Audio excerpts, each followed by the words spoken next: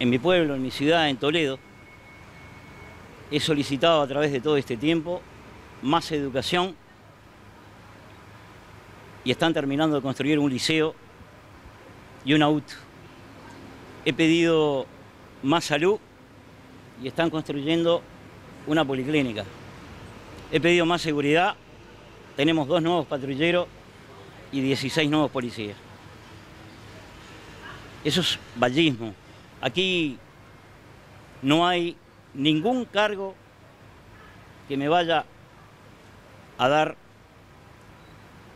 el ingeniero Martínez.